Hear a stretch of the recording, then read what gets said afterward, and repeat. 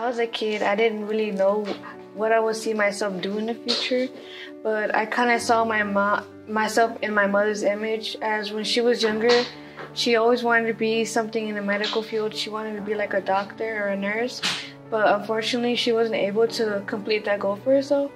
So, like, um, I also have like other family members that are also in the medical field, and I saw it very interesting. So I started taking classes at Tech Campus, and I started liking it a lot. And I kind of want to complete that goal for my mother and be in the medical field.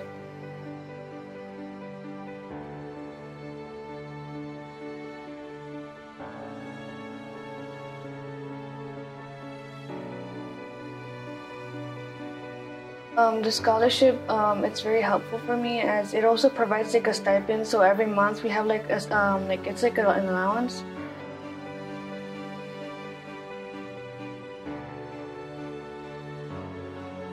At home, it's like mainly me and my mother paying bills. My dad would help us, but he recently got injured, so like I'm like um, another person that helps pay bills. So like with the job that I have, I would help pay bills and like get any like um anything that we need at home. And then with the scholarship stipend, I would use that for like to put gas, and especially now since like gases are going like the prices are higher, I would use that for like gas or like for food or any other things. And it like it kind of gave me a sense of relief because like I feel like if I didn't have the scholarship, I would be more stressed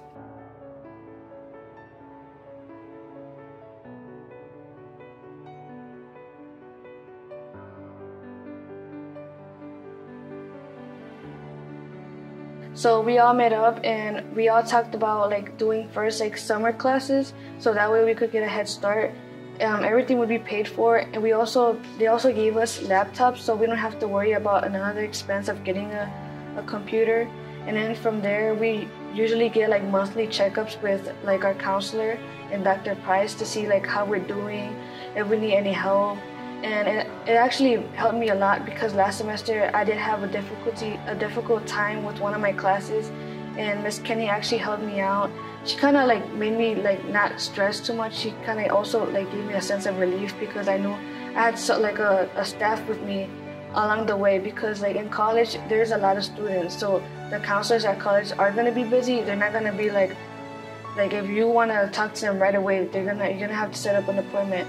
But here with the staff at the scholarship, like I could just call them and they're like a phone call away. So they'll help me out whether like I feel like I'm struggling, I won't make it with this class. They'll help me and kind of put me back on track on the route that they believe would help me best.